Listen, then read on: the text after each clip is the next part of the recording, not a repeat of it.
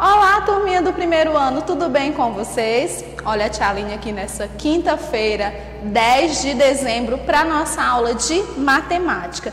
E hoje em matemática nós vamos dar entrada no novo capítulo que fala sobre problemas utilizando real. Lembra que nós aprendemos aí sobre real, a nossa moeda, nosso sistema monetário, no nosso capítulo passado, e a gente vai continuar, vai dar continuidade, porém agora, né, utilizando problemas tá bom? Então vocês vão abrir o livro de vocês aí na página 92, né?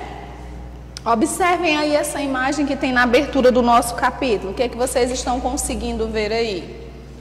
Olha aí, tem um, tem um menininho, uma menininha, né? Eles estão segurando aí dois, dois porquinhos, né? Dois cofrinhos, não é? E aí o menino já tá com balão ali pensando, né?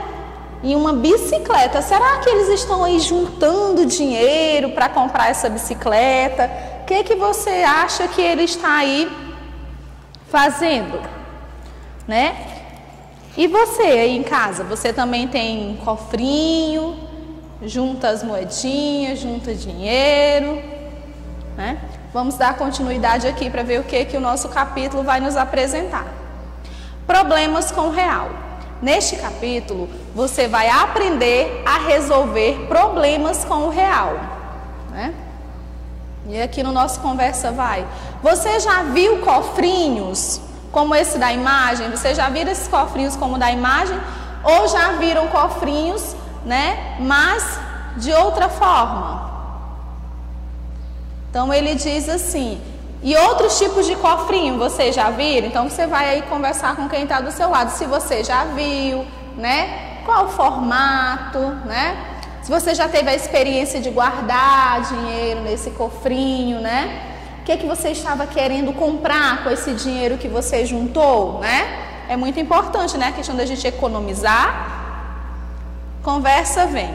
Por que muitas pessoas guardam dinheiro no cofrinho? Por que, que vocês acham que as pessoas guardam aí dinheiro no cofrinho, né? Muitas vezes a gente guarda, né, para comprar algo, né, que a gente queira muito. Então a gente vai economizando, né, até chegar ao valor esperado, não é isso, criança? Né? A gente pode poupar e poupando aí dinheiro até chegar no valor desejado. E vocês têm esse costume de guardar dinheiro, de poupar? Então vamos aí, vocês vão colocar. Se você, por que que vocês acham que as pessoas guardam, né? E aqui fala o seguinte para a gente: guardando dinheiro. Nosso dinheiro pode ser guardado em cofrinhos e também em bancos. Nos bancos, geralmente ficam guardados quantidades maiores de dinheiro. Nos cofrinhos, nós guardamos aí as quantidades menores, não é isso? Você acha que aqueles meninos lá da nossa abertura, eles estavam guardando dinheiro para quê? O menininho, ele nos dá a ideia, né, de que ele estava ali poupando o seu dinheirinho para comprar uma bicicleta, né? Então vamos aqui dar continuidade. Aqui no nosso mão na massa, né, a Camila ela guardou aí no cofrinho dela cinco moedas de um real e uma cédula de dez reais que ganhou de seus avós, né? E aí tá os dados do problema que eles estão nos mostrando. A Camila ela tinha o quê, ó? Ela tinha cinco moedinhas, né, de um real e uma cédula de 10 reais, né? Olha aqui, cinco moedas de um real e uma cédula de 10 reais. Aí ele pergunta para a gente, olha, no total, qual foi a quantia recebida por Camila, né? Ela tem aqui 10 reais, não é? 10 mais Quantas moedas ela tem? Ela tem cinco moedas de um real. Olha, uma, né? Dois, três, quatro, cinco, né? Um mais um, dois, não é isso? Dois mais um, três. Três mais um, quatro. E quatro mais um, cinco, não é? Então a Camila, ela tem aqui, né, 5 reais em moedas, não é isso? Então, a gente vai colocar aqui, ó, 10 mais 5, não é? Primeiro a gente somou ali 1 mais 1, até chegar a 5, né? E aí, 10 mais 5 é igual a... Ó, temos 10. Guardou 10 na memória, 10. 11, 12, 13, 14, 15, não é isso? Então, a Camila, ela tem guardado aí no cofrinho dela, não é? 15 reais, né? Então, o total são 15 reais. Tudo bem até aqui? Tia, mas esses 5 da onde foi? Esses 5 foi que nós colocamos aqui, ó, mais um, né? Nós somamos aqui os 5, 1, 5 vezes. Lembra? E aí nós chegamos aqui a 5. E depois nós somamos 10 mais 5, que foi 15. Tudo bem até aqui? Tia Aline vai apagar aqui para que a gente possa dar continuidade. A irmã mais nova de Camila ganhou uma moeda a menos que ela. Quantas moedas ela ganhou? A Camila, nós sabemos que a Camila ganhou aí cinco moedas, não é? Cinco menos. Ó, ela ganhou uma menos. Se for eu tenho cinco, se eu tenho cinco, e desses cinco eu vou tirar um. Cinco menos um é, ó, tem um, temos cinco, tiramos um, ficaram quatro, não é? Então, a irmã da Camila tem quatro moedas. Não é isso? Nós sabemos aí que a Camila ela tinha cinco moedas, né? E aqui ele nos diz que ela ganhou uma moeda a menos, né? Se ela ganhou uma moeda a menos, era só a gente fazer a subtração de 5 menos 1 igual a 4, né? Então ela ficou aí com 4 moedas. Tudo bem? Deixa eu apagar aqui.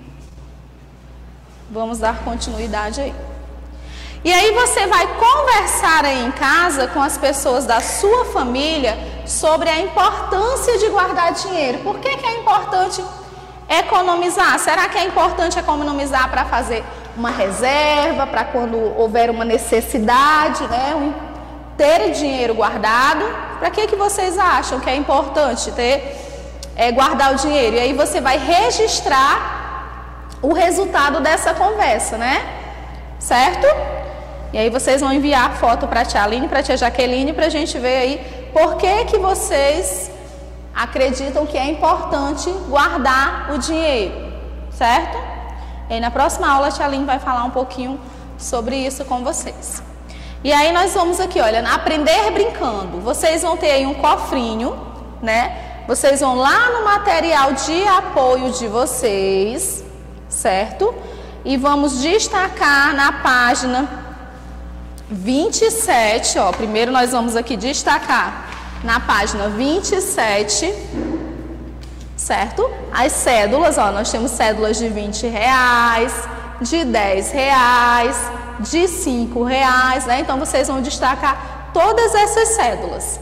Depois vocês vão aqui na página 29, tem um aí um cofrinho, olha aqui um porquinho, tem aí esse cofrinho e nós vocês vão montar esse cofrinho, certo? E aí, depois que você montar esse cofrinho, ele diz aqui, ó, que nós vamos. Deixa, deixa a tia Aline passar aqui. Ele diz aí que nós vamos fazer o quê? Nós vamos formar grupos, né?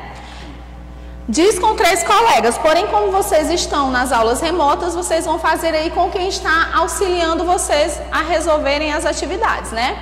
E aí vocês vão montar, você vai montar esse cofrinho, né? E aí vocês vão fazer o jogo. Combine qual será a ordem de jogada entre vocês. Ah, tia, mas nós só temos um modelo de cofrinho aqui. Como é que eu vou jogar com quem está aqui em casa?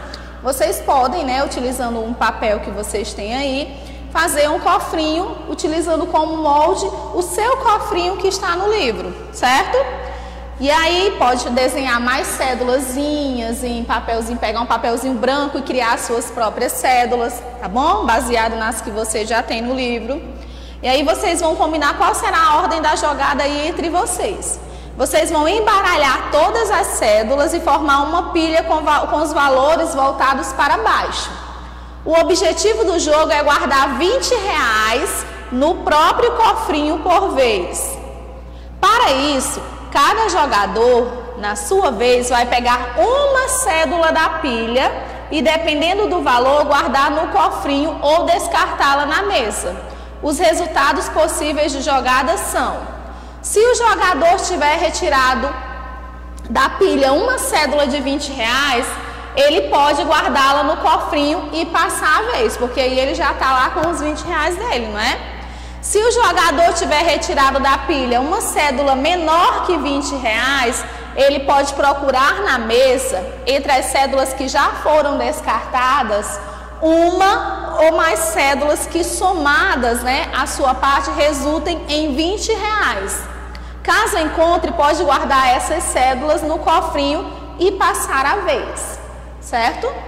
Se o jogador, na sua vez, não tiver conseguido juntar 20 reais, mesmo após procurar entre as cédulas descartadas, ele deve descartar no meio da mesa a cédula que retirou da pilha e passar a vez para o próximo jogador. Certo? O jogo termina quando as cédulas da pilha acabarem. Ganha o jogo quem ficar com a maior quantia aí dentro do cofrinho. Certo? Então vamos dar continuidade aqui. Aqui nos diz que a Maria Eduarda e o André, o a Maria Eduarda, né, o André e a Joana estão jogando cofrinho. Veja as cédulas com que cada um ficou no final do jogo. E em seguida, né, nós vamos aí anotar as quantias, certo? Que cada um ficou aí no jogo. E em seguida nós vamos responder as perguntas. Olha aqui. Então vocês vão fazer aí, a tia Aline vai deixar essa aqui para vocês responderem em casa, tá? Vocês vão olhar aqui, olha aqui a Maria Eduarda, ela tem duas cédulas de 20. Quanto que é 20 mais 20? Hum, muito bem. Tenho certeza que vocês falaram 40, não é? Então vocês vão somando aqui o valor de cada cédula, né?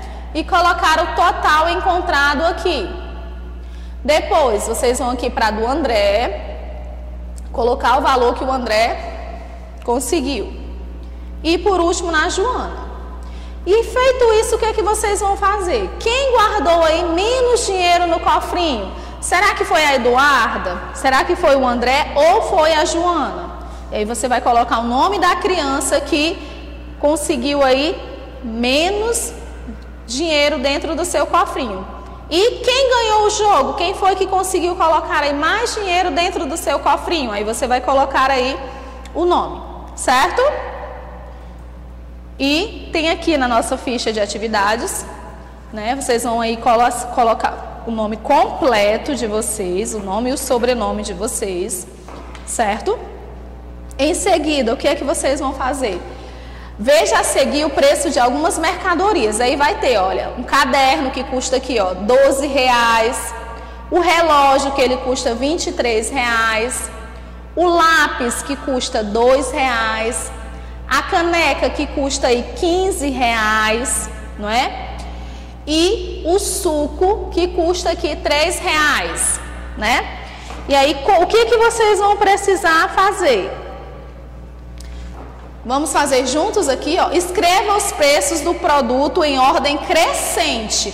Ou seja, nós vamos escrever aí, né, do menor para o maior. Não é isso? Nós vamos escrever os preços.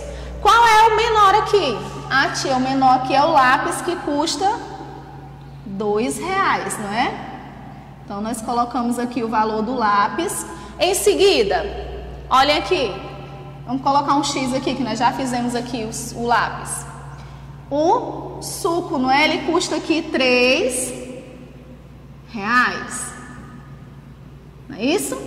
Nós estamos colocando aí na ordem crescente, não é isso? E aí, quem é o próximo? Ah, tia, o próximo é o caderno que custa aqui 12 reais. é isso?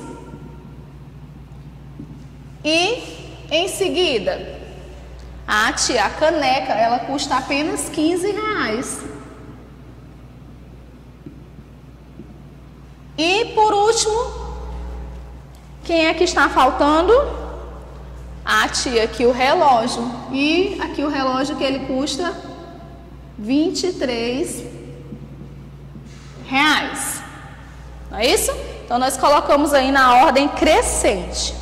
E aqui fala, ó, escreva o nome dos produtos na ordem do mais caro para o mais barato. Quem é aqui o mais caro? Ó? Caderno 12, o relógio 23, o lápis 2, a caneca 15 e o suco 3 reais. Hum. O mais caro, né, é o relógio, né? Então nós vamos começar aí com o relógio. Depois, quem é o segundo mais caro aí? A tia, é a caneca. Ela custa aí 15 reais, né? Caneca. Em seguida, o caderno. Não é isso? E quem mais? Agora nós vamos para o suco, não é? O suco que custa três reais. E quem é aí o último? O lápis, não é? Que custa aí dois reais. Certo? Tudo bem até aqui? Então a tia Aline vai apagar aqui. E nós vamos dar continuidade.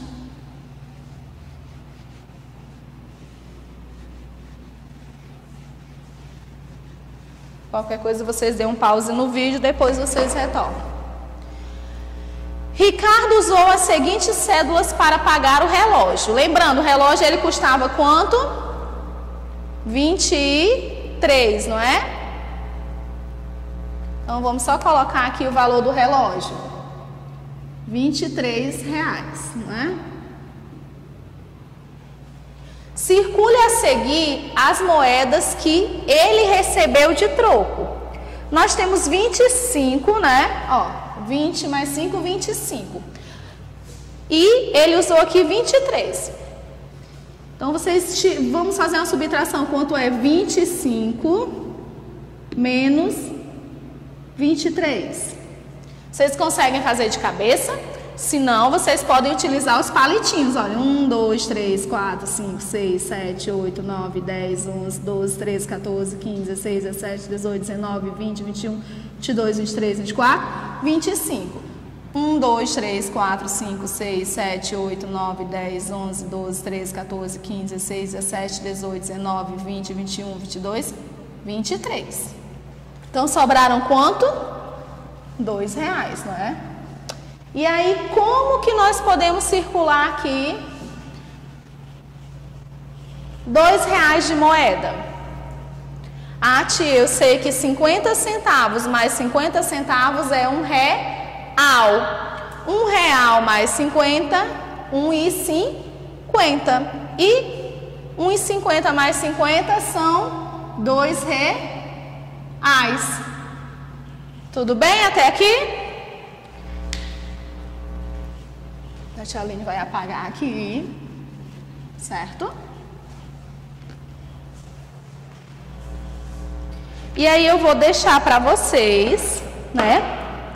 Vocês vão aí responder a página 70, tá? Diz que o Ricardo decidiu comprar o lápis e pagar com uma cédula de 5 reais.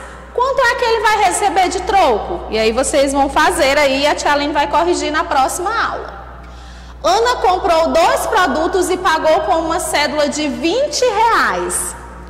Né? Que produtos ela pode ter comprado lá? Né? Ela comprou dois produtos, então vocês vão ver lá com esse dinheiro de 20 reais aí, com essa quantia, quais produtos ela poderia ter comprado. Aí vocês vão escrever aqui o nome desses produtos, certo? Na letra F, Ana comprou o relógio e recebeu R$ reais de troco. Quanto Ana tinha antes da compra? Então a tia Aline vai deixar essa aí para que vocês possam responder aí e na próxima aula eu corrijo aí junto com vocês. Certo? Então a tia Aline vai voltar aqui um pouquinho para que a gente possa corrigir a nossa atividade da aula passada, certo? Aqui, preencha as frases a seguir com os valores e vocês iriam preencher, né? Fui ao mercado e comprei algumas laranjas por... Quanto é que custavam as laranjas? Quatro reais, não é isso? Em seguida, uma caneca por... A caneca custava aqui 12 reais. Não é isso? E, do, e dois litros de leite por 3 reais. Quanto que a aluna gastou ao todos em, su, em, sua, em suas compras, né?